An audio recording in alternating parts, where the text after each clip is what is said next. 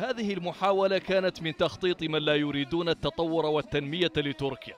ولكن شاءوا أم أبوا فإن الله سبحانه وتعالى هو صاحب القوة في العالم. منذ أول لحظة أنتم أطياف الشعب التركي قمتم من خلال خروجكم إلى الشوارع بإفشال هذه المؤامرة وهذه المحاولة الفاشلة للانقلاب العسكري. أيها المواطنون إن هذه الأحداث أثبتت أن الشعب التركي لديه تجربة قوية في مجال الديمقراطية وأن شعبنا يحارب وسيحارب من أجل استقلال بلاده والمحافظة على وحدتها وديمقراطيتها.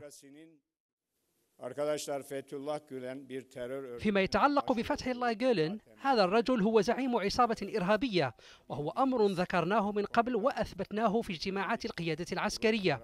نحن كنا طلبنا من الولايات المتحدة تسليمه إلى تركيا. بعد الأحداث التي جرت بالأمس فإن هذا الرجل هو زعيم عصابة ورئيس منظمة إرهابية. ولا أعتقد أن دولة ما تدعمه. إن الدولة التي تدعم هذا الرجل لن تكون دولة حليفة أو صديقة لتركيا. الدولة التي تدعمه ستكون دولة تحارب تركيا. الرئيس كان يقصد بأنه كانت هناك عناصر من حركة فتح الله جولن. كما تعلمون فتح الله جولن هو شكل عصابة إجرامية تحاول أن تطيح بحكم أردوغان لفترة طويلة وبعض أعضاء حركته تم بثهم في القوات المسلحة التركية. ولكن كان من الصعب أن نميزهم عن الآخرين. ولكن بهذه المحاولة الانقلابية نحن نعرفهم.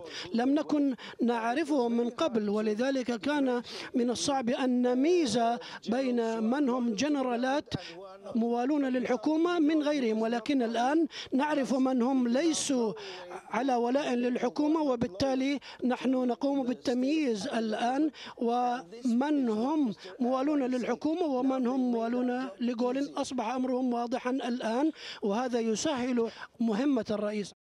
باسم الحكومة الاتحادية ندين بشدة المحاولة الانقلابية التي قادتها وحدات من الجيش التركي على الحكومة المنتخبة والرئيس المنتخب في تركيا. من المحزن أن كثيرين قتلوا خلال محاولة الانقلاب. سفك الدماء في تركيا يجب أن يتوقف الآن وألمانيا تقف مع الشرعية والديمقراطية في تركيا. من حق الشعب التركي اختيار زعيمه السياسي في انتخابات حرة والدبابات في الشوارع والضربات الجوية ضد الشعب هي أفعال ظالمة.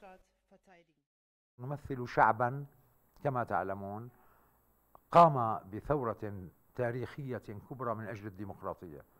فأمر طبيعي بأننا نقف إلى جانب الديمقراطية. والأمر الثاني المهم بأن تركيا البلد الجار والأقرب لسوريا فتحت قلبها وأراضيها للسوريين وعاملتهم معاملة كريمة ينبغي أن نعبر عن الوفاء لها. نحن لدينا ما يقرب من ثلاثة ملايين سوري يعيشون الآن في تركيا وهؤلاء لن ينسوا قط هذا الاحتضان الأخوي الكبير.